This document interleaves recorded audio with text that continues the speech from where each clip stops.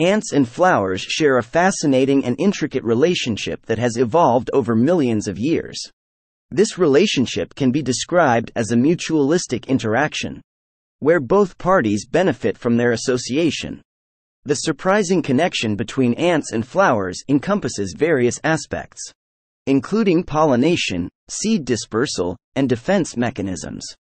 Let's explore these in detail in this video.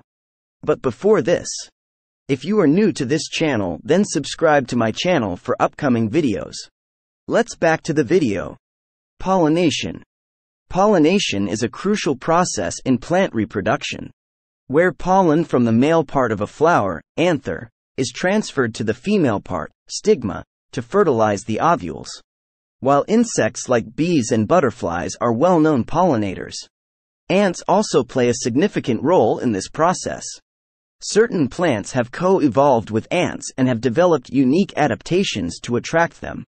Flowers pollinated by ants often possess specific characteristics. They tend to be small, inconspicuous, and produce less nectar compared to flowers attracting other insects. These flowers often have extra floral nectaries, nectar producing glands, located on other parts of the plant, such as stems or leaves, which provide ants with a readily available food source. The nectar acts as a reward, attracting ants to visit the flowers repeatedly. During their visits, ants inadvertently transfer pollen from one flower to another, aiding in cross pollination. However, ants are generally less efficient pollinators than bees due to their small size and limited flight range.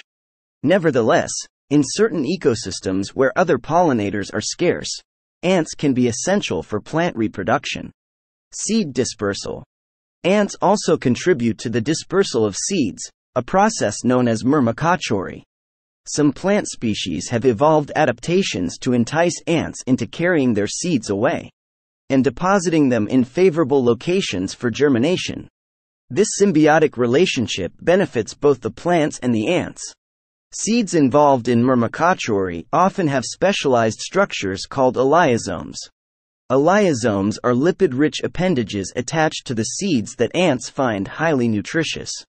When ants discover seeds with elaiosomes, they carry them back to their nests. They consume the elaiosomes, but they do not eat the actual seeds. Instead, they discard them in nutrient-rich ant mounds or underground chambers providing a suitable environment for germination and seedling growth.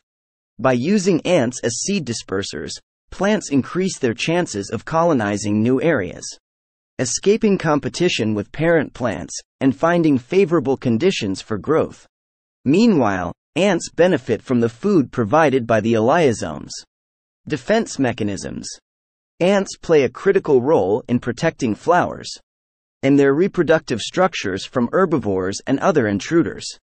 Some plant species have evolved intricate defense mechanisms to attract and maintain ant colonies as a means of protection. Flowers may produce chemical compounds or scents that specifically attract ants.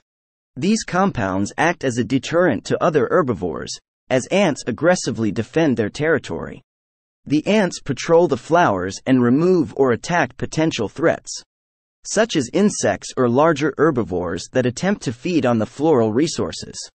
In return for protection, the flowers may provide additional rewards, such as nectar or shelter, to maintain the presence of ant colonies. This mutualistic relationship benefits both the plants, which gain protection, and the ants, which receive sustenance and suitable habitat. In conclusion, the connection between ants, and flowers is a remarkable example of mutualistic symbiosis in the natural world. Through their role in pollination, seed dispersal, and defense mechanisms, ants contribute significantly to the survival and reproductive success of certain plant species. This intricate relationship highlights the complex and interconnected web of interactions that exist in ecosystems, where even the smallest organisms can have a surprising impact. I hope so now you will understand about connection of ants and flowers. Thanks for watching my content. If you like my content press the like button. And subscribe to my channel and press the bell icon for upcoming videos. Thank you goodbye.